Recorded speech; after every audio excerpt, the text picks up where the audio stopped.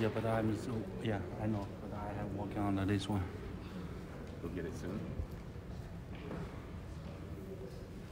You'll get the notification soon. You don't know. Oh. But you're about to go live. Are you already live? You're you're already live.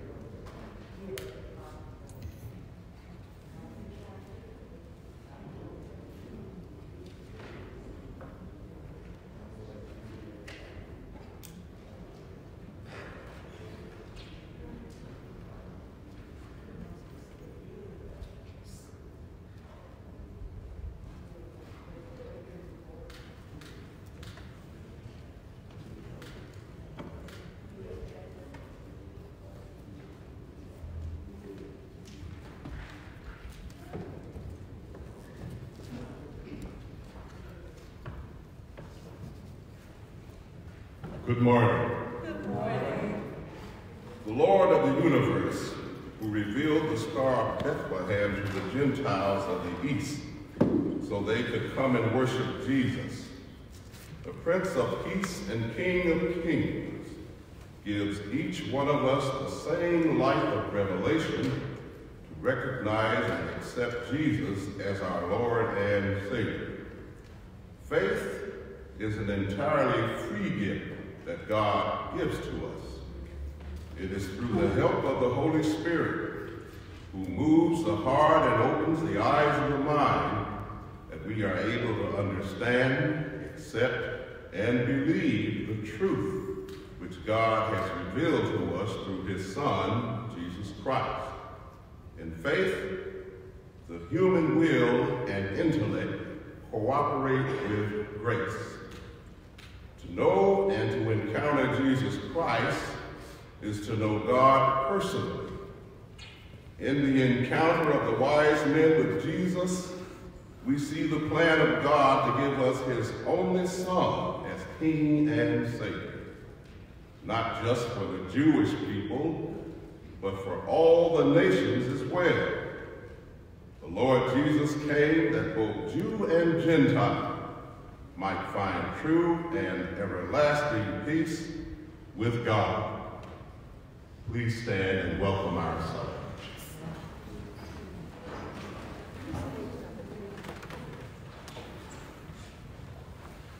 Please join in singing our gathering song, Jesus, Light of the World, hymn number 274, in the green lead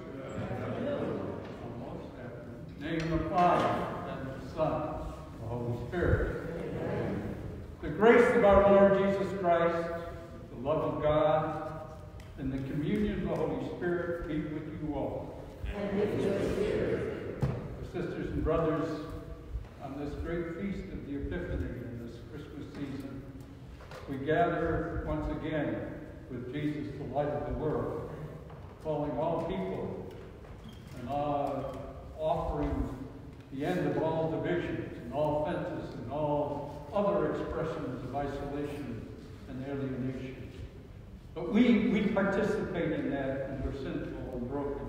And so every Mass we begin asking for God's mercy.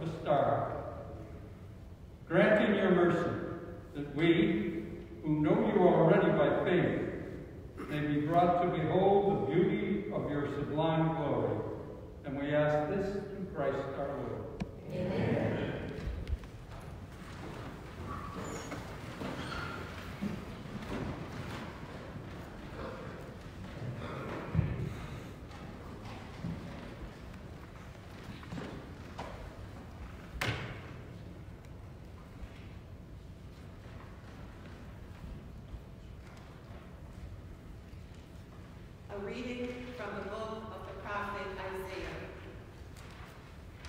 Rise up and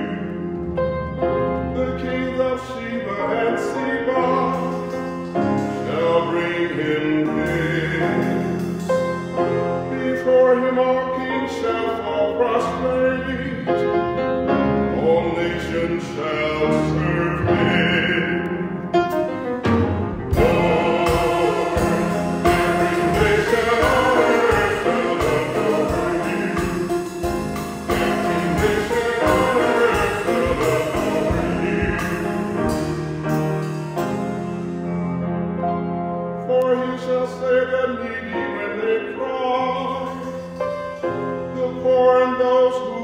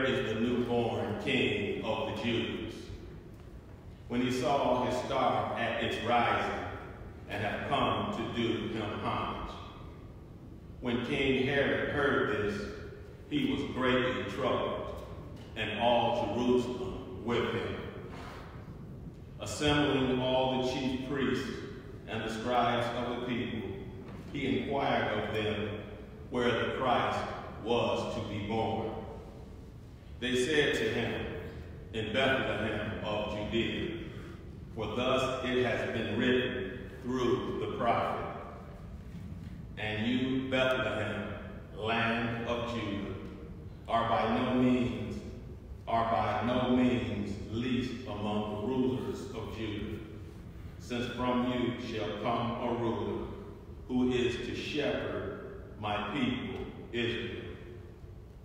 Then Herod called the Magi secretly and ascertained from them the time of the star's appearance. He sent them to Bethlehem and said, Go and search diligently for the child. When you have found him, bring me word that I too may go and do homage. After their audience with the king, they set out, and behold, the star they had seen at its rising proceeded until it came and stopped over the place where the child was. They were overjoyed at seeing the star, and on entering the house, they saw the child with Mary, his mother. They prostrated themselves and did him homage.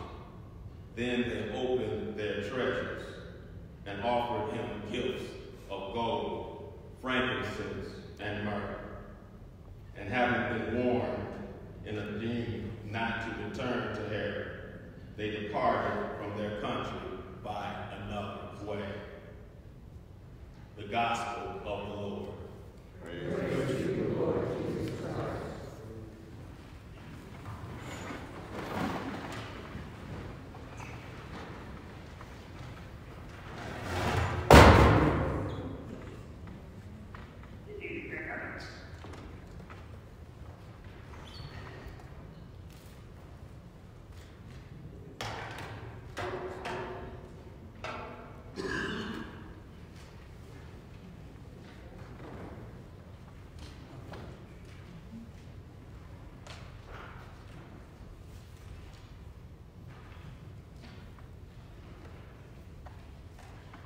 dear friends in Christ, on this feast, the feast of the Epiphany, when we talk about the revelation of God, there's two things that we need to, to, to uh, consider. And first of all, the thing that, that strikes me about the, the, the whole Christmas season that's totally neglected in our society is that when Jesus took flesh, when Jesus pitched his tent among us, automatically bringing healing, bringing love, bringing truth, bringing wisdom into the world had consequences, and the consequences were the crucifixion. When love meets evil, when generosity meets selfishness, when truth meets ignorance, there's a conflict. And it's usually fatal. This is what, what Christmas is, is about. It's not to be sad, it's not to be uh, worrisome, it's just the human reality. This is what we live with. This is the world that we have. So, uh, in today's uh, uh, series of events, we see the immediately Herod is worried. And the Jewish leaders are asked a question, but they don't respond to, where is that child? We're looking for the Messiah. They were protecting their self-interest. Mm-hmm. They wanted to continue their power, mm-hmm. their privilege, their prosperity mm-hmm. to the ne neglect of other people. And so when, when the, the Magi asked the question, where will this Messiah be born? Where will this new king come from? And they say Bethlehem. And so the Magi were seekers of God. They were seekers of truth. They wanted a world that would express the basic beauty of human dignity, of inclusion and acceptance, of unity. And they ran into a world like Chicago. Broken, divided, segregated, isolated. And that world is maintained because somebody's making an advantage of it. Just like Herod and the leaders of the Jews were there. So this is this is the fundamental human reality. Is that this we live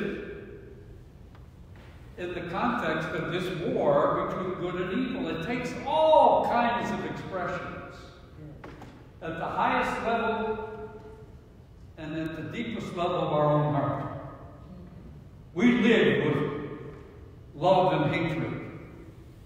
We live with prejudice and acceptance.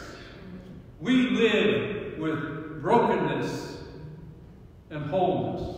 That's, that's our word. That's what, what, what the stuff of, of our daily experience.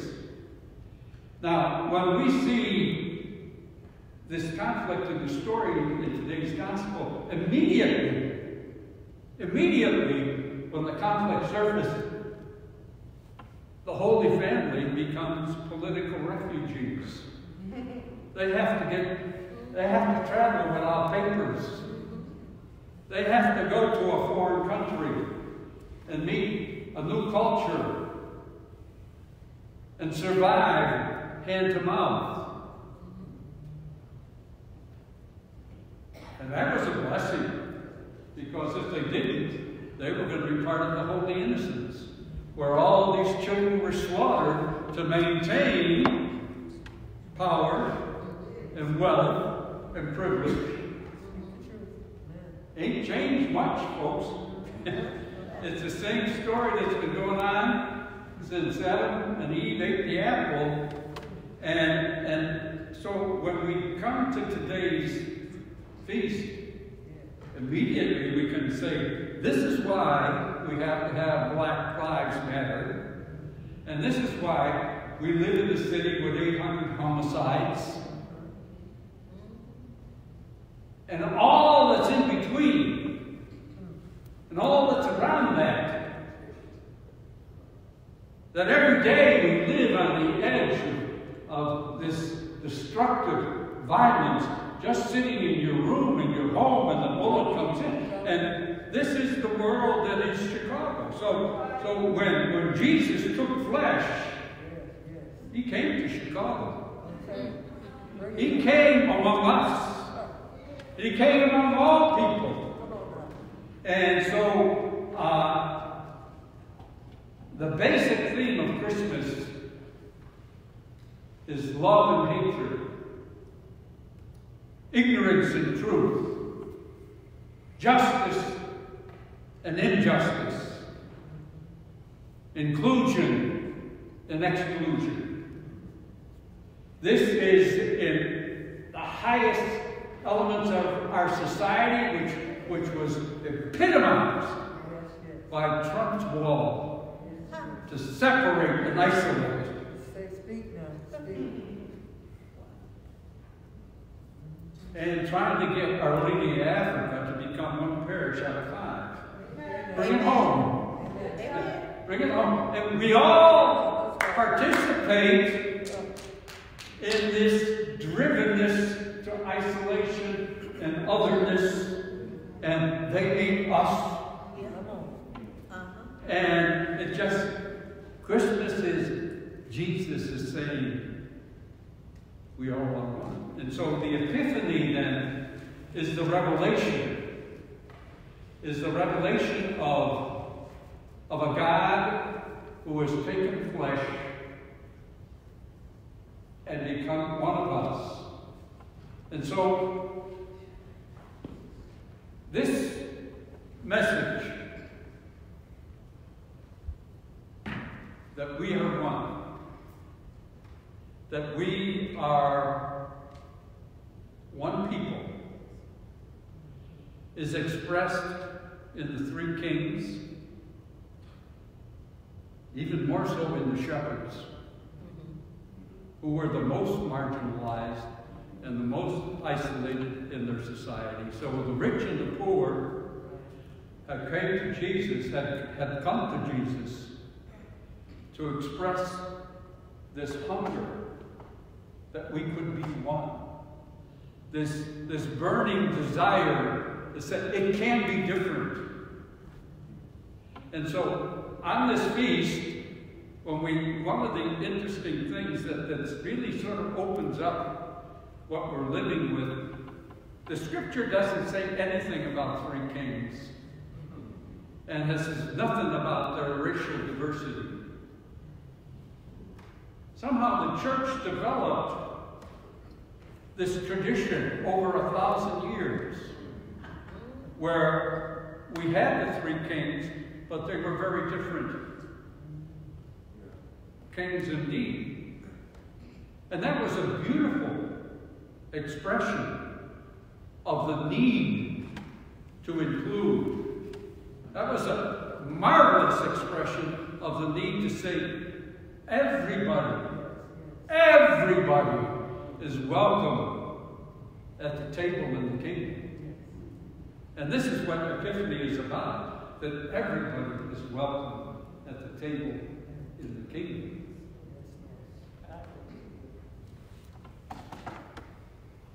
When I come into this church and I look around, I see this, I see Our Lady of Africa, I see the expressions in the, in the vestibule, so many expressions of our God as black, as African American. Now, is that good or bad? In my mind, it is totally beautiful. In the shrine, national shrine of our Catholic faith in Washington, D.C., they have one of the biggest, I don't know what, it's not a picture, it's a, it's a, uh, forget the word, but it's a huge thing, 34 feet in, in the dome of the National Shrine. And they have this Jesus, the Christ of Majesty. And the Christ of Majesty in our National Shrine has beautiful blonde hair and blue eyes and nice pink skin. And that was built as saying expression the Catholic Church in the United States in the 1950s. It was a white Jesus. And so in 1968, when Father Fernando, a Mexican Jesuit who was working at Holy Family on Roosevelt Road, came out with the first black Christ on the cross. Oh my God, you should have heard it. You, you should have heard it. How can they do that? How can that happen? And I, I said, Isn't Jesus black? you think he's white? For hundreds of years, all we had was the blonde, blue-eyed Jesus. And Jesus isn't blonde and blue-eyed, and Jesus isn't black. Jesus is Jewish. But Jesus wanted to be part of everybody's life. And so, especially after hundreds of years of, of degradation of the image of God as being white, and we come up with black, that's a beautiful thing. That's a beautiful thing. That, and we need an Asian expression. We need a, a Caribbean expression. We need a Malaysian expression. We need to express God in our cultures in every different way. The problem is the first part of what I talked about. That we all want to make Jesus pie. He, he's mine. And I'm not sure. This is my parish. I'm not leaving. This is my program. I've been the, the main man in this program forever, and there ain't nobody taking my job. Ooh, does that happen? Because it's in the human heart, and this is what Jesus came to uproot.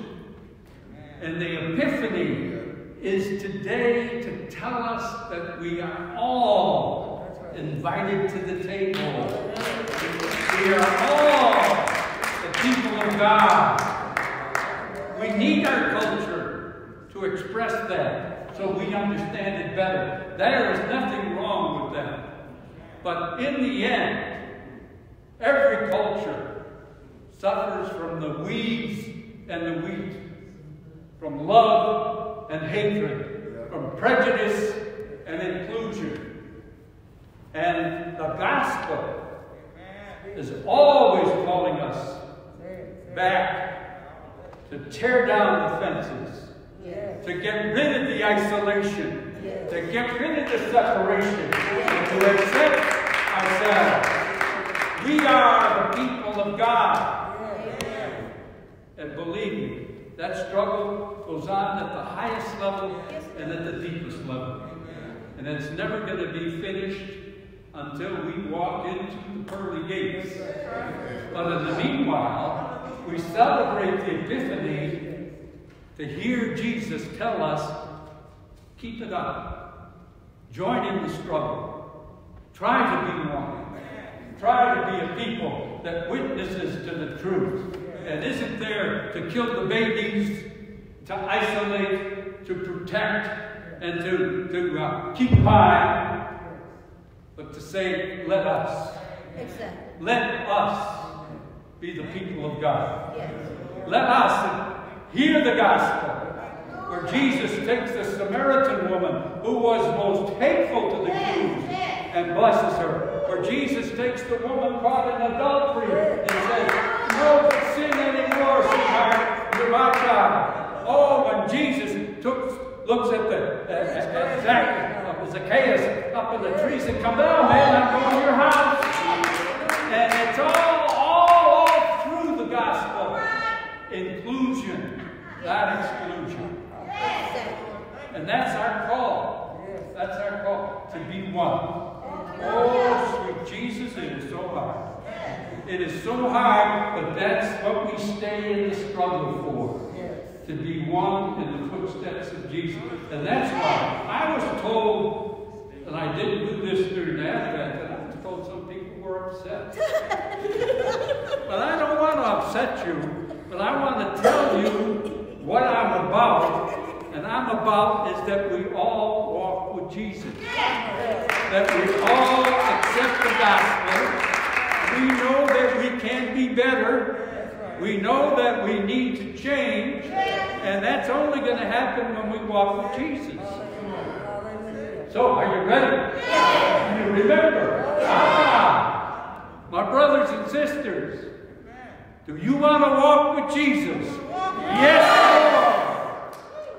Some of you have been away too long for adjustment. Yes. You can do the body thing, but it's really the heart that counts. If the body helps the heart, though.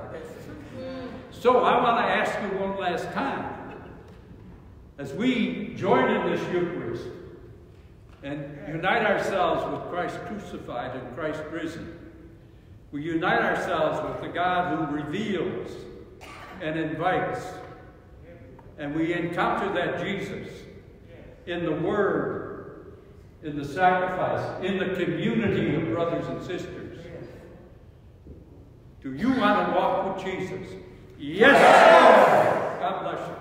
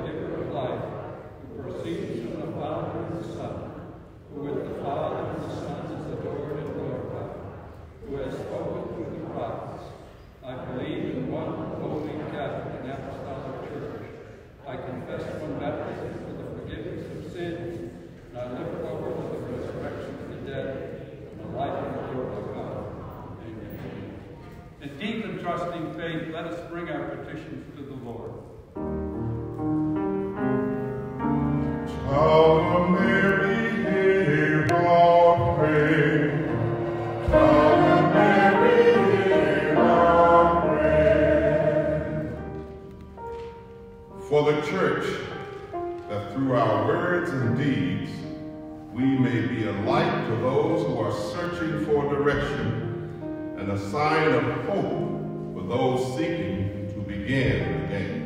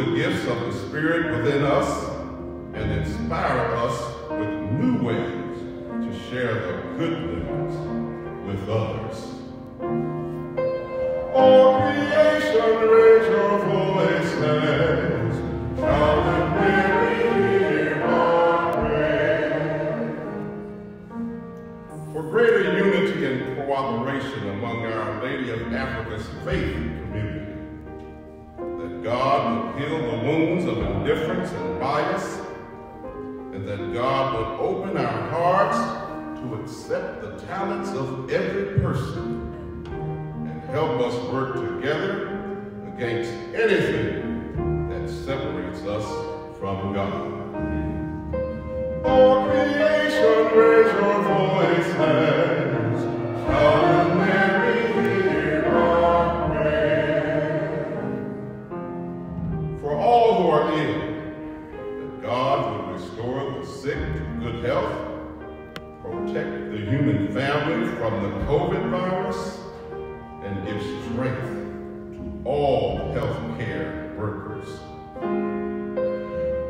creation reigns.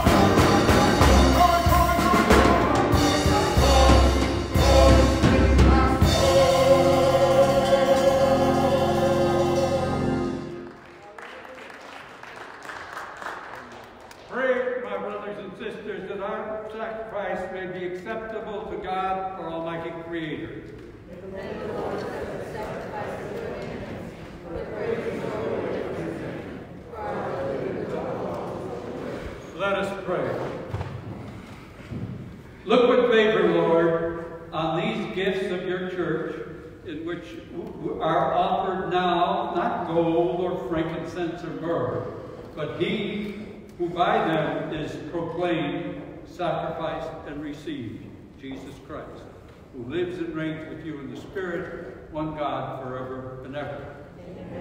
The Lord be with you. And with your spirit, Lift up your hearts. we live on to the Lord. Let us give thanks to the Lord our God. It is right and just.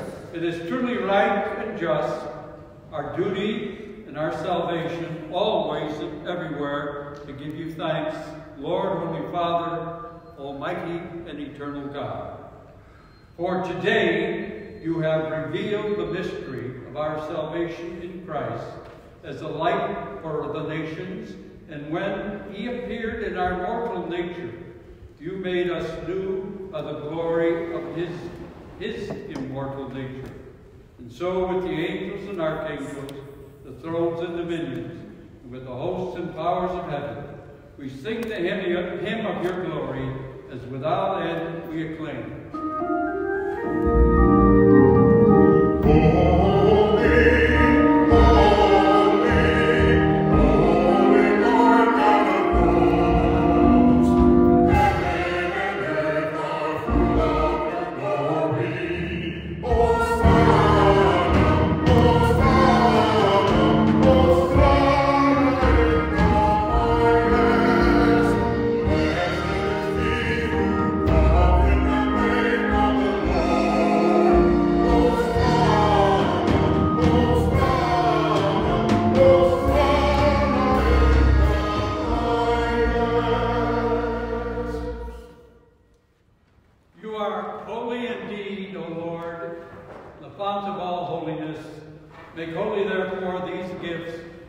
By sending down your Spirit upon them like the dewfall, so that they may become for us the body and blood of our Lord Jesus Christ.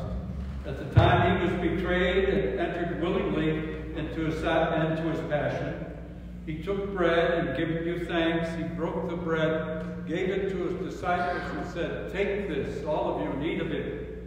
For this is my body, which will be given up for you.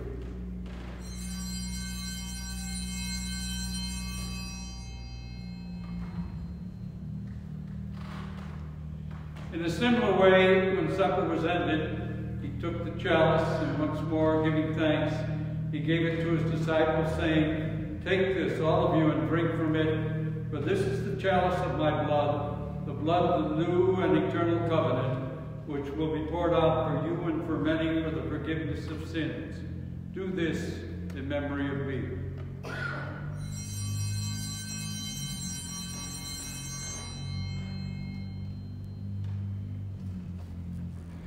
The mystery of faith.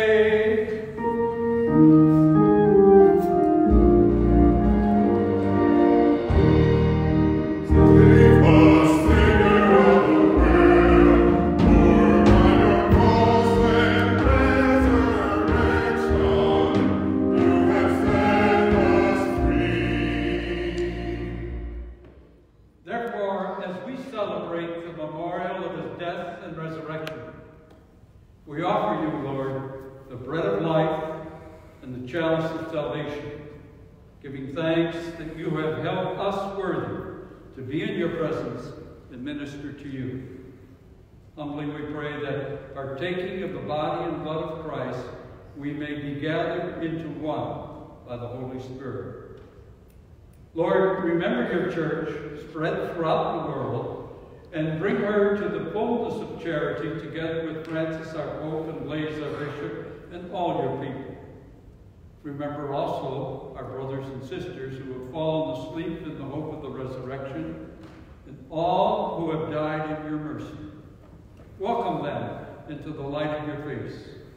Have mercy on us all, that with the Blessed Virgin Mary, Mother of God, with the blessed apostles and all the saints who have pleased you throughout the ages, we may merit to be co-heirs to eternal life and praise and glorify you through your Son, Jesus Christ.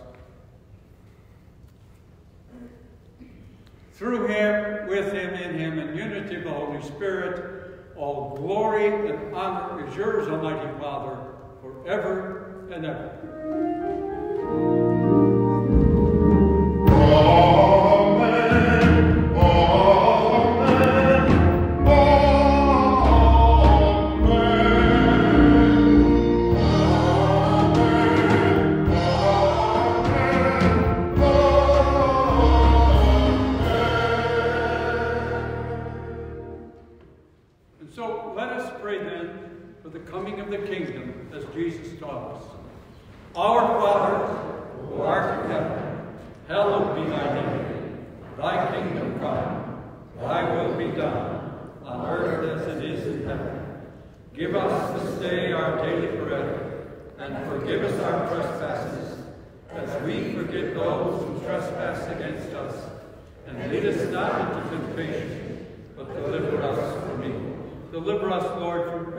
And grant us peace in our day. In your mercy, keep us free from sin. Protect us from all anxiety as we wait in joyful hope for the coming of our Savior, Jesus Christ. For the kingdom, the power, and the glory are yours, now and forever. Lord Jesus Christ, you said to your apostles, I leave you peace, my peace I give you. Look not on our sins, but on the faith of your church, and grant us the peace and unity of your kingdom, where you live and reign forever and ever. Amen. Peace of the Lord be with you always. Let us offer each other a sign of peace.